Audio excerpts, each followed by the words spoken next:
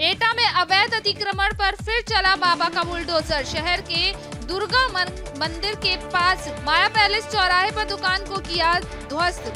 नाले पर बनी अवैध दुकान के अतिक्रमण को नगर पालिका ने किया ध्वस्त। क्षेत्रीय सभासद की शिकायत पर जाँच के बाद नगर पालिका ने अवैध अतिक्रमण हटवाया। अतिक्रमण हटवाने के दौरान अतिक्रमणकारी और पुलिस के बीच हुई नोकझोंक। ईओ दीप वाशर्ण पर पाँच लाख रुपए रिश्वत मांगने का लगाया आरोप।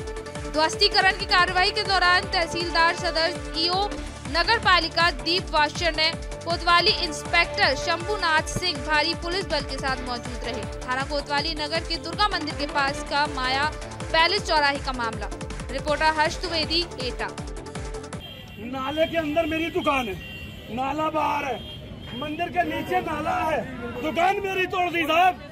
और साहब कोई नोटिस नहीं दिया गया। नगर पालिका से मेरा कोई नोटिस नहीं दिया गया। और मेरा 2024 तक मेरी दुकान का किराया जमा है। अरे। 2024 तक मेरा किराया जमा है। कोर्ट में मेरा मुकदमा विचार दी है साहब। ये सब कागज़ आएँगे मेरे पास।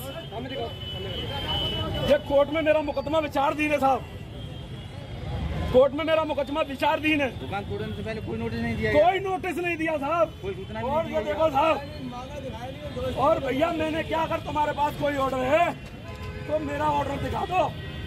ये भैया सन इक्यानवे तक की निन्यानवे तक की मेरी रसीदें जमा है किराए की यो साहब ने मुझसे नाले की बात कहकर मुझसे पाँच लाख रुपए मांगे यो साहब ने। कम नगर मांगे पालिका यो आज से पंद्रह दिन पहले बीस दिन पहले। किस बात के